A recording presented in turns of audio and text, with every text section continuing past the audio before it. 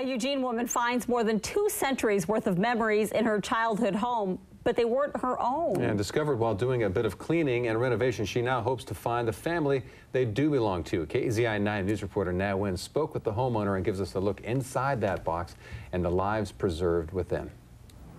Photo albums, old postcards, years of memories packed away inside this box just recently saw light about a month ago.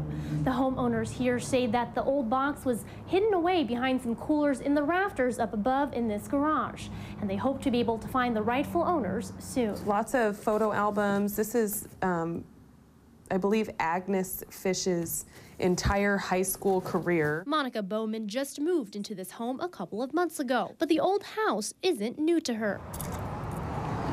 Well, we moved here when I was eight. She actually spent most of her childhood right here, so this box of keepsakes discovered by her husband was puzzling.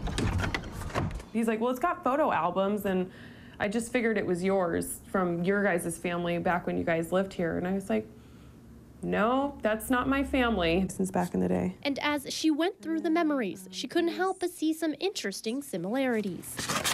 The family, like hers, came from Southern California, and the person woven throughout it all, a nurse, just like Bowman herself. I think Mary S. Fish maybe was a nurse back in 1918 and I have her documentation right here because she was with the National Guard. And family or not, it didn't feel right to just get rid of the various trinkets. Oh, they had clips on the tie.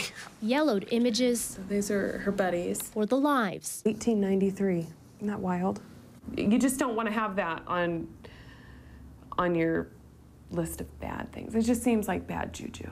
So she's hunting for the people this belongs to, hoping to reunite Mrs. Fish with her family in the near future. If you would like to know more about what's inside this box, or have any information on who all of this might belong to, you can contact Bowman through her Facebook page called Mary Scott Miller of Wyoming, 1893. In Eugene, Na Nguyen, KEZI 9 News.